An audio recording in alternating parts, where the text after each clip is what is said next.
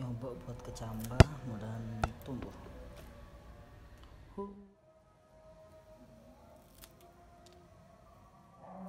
Nah ini adalah bahan-bahan yang dibutuhkan.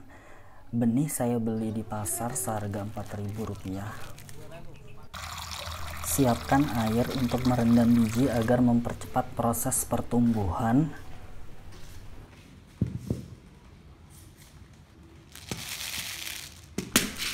Kemudian masukkan semua benih yang ada ke dalam air dan tunggu selama 9 jam.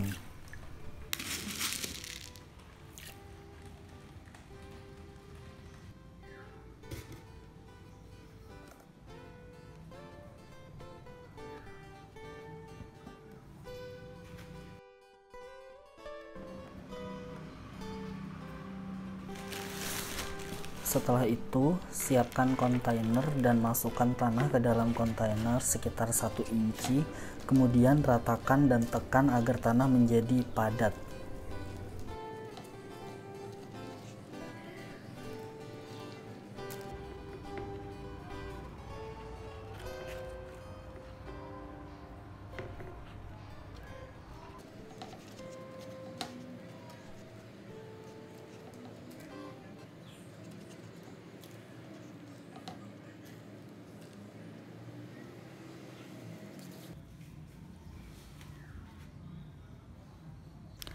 Kemudian letakkan benih di atasnya.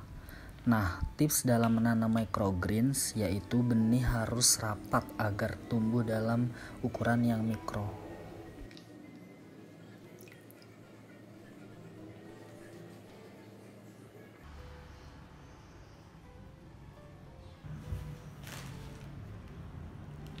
Setelah itu, letakkan tanah di atasnya.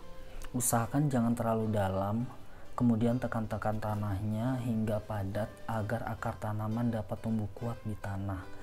Lalu siram dengan air. Usahakan jangan terlalu banyak menyiram agar benih tidak busuk.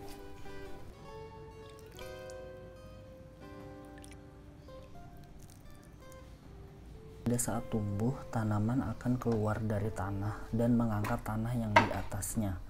Jadi lebih baik tutupi tanah dengan kontainer lagi agar tumbuhnya bisa lebih rapi dan tidak berantakan.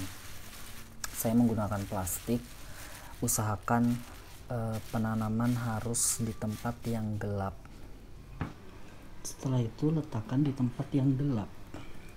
Misalnya di bawah tempat tidur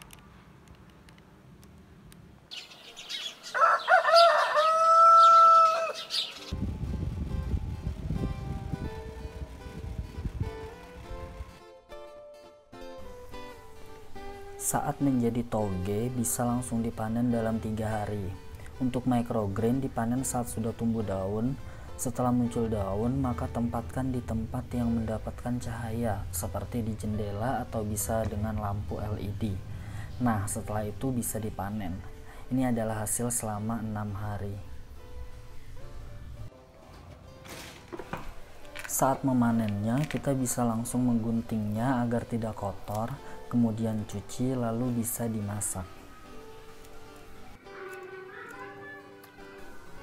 Untuk pengolahannya bisa langsung dibuat sup atau ditumis. Nah, tetapi saya paling suka dicampur di telur dadar.